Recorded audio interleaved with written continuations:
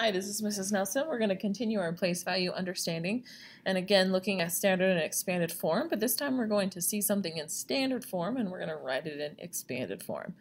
So our objective says essentially that. I can write a number in expanded form when seen in standard form. So number one says write 435 thousandths, that's the thousands place, in expanded form. So this is in standard form. What's that called? Yes, standard form. And we want to expand it. We want that number to take up more space by showing each of the place values. So I'm going to go ahead and write that number in my place value chart. And by doing that, it makes it easier for me to identify the place values that I need to show when I write in expanded form. So I'm going to start with the first non-zero digit. I have a 4 in the tenths place. So I'm going to write 4 times 1 tenth.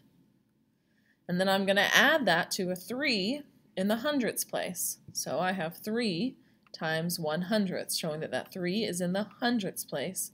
And I'm going to add that to our 5, which is in the thousandths place. So that's what the expanded form would look like. We have a 4 in the tenths place, a 3 in the hundredths place, and a 5 in the thousandths place. Okay, we're going to do the same thing with 80 and 26 thousandths. So I'm going to put that in my place value chart. So I have an 8 in the tens place, a 0 in the ones place, a 0 in the tenths place, a 2 in the hundreds place, and a 6 in the thousandths place.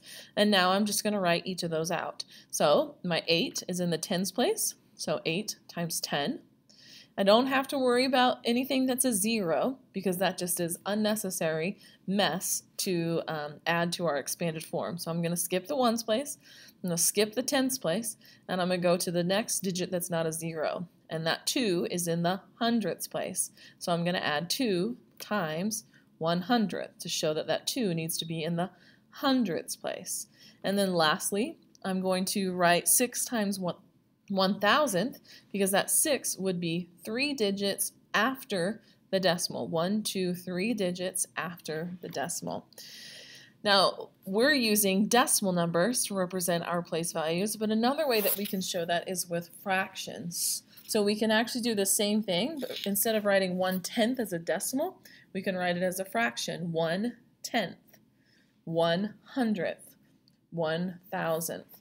So again, using our place value chart and labeling it really will help us to place uh, or to write the number in standard form uh, from standard form into expanded form. So I'm going to do the same thing except instead of writing decimal numbers, I write the fraction equivalent. So you can see I still have 4 times 1 tenth, or 4 in the tenths place, 3 in the hundredths place, 5 in the thousandths place. And that's what it would look like for 80 and 26 thousandths an 8 in the tens place, a 2 in the hundredths place, and a 6 in the thousandths place. Using the fraction form or the decimal form is they're both appropriate and it just depends on what you're asked for or how you're going to be using it um, which would help you to choose which way you want to write it.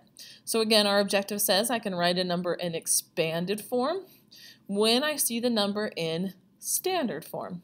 Thanks for watching.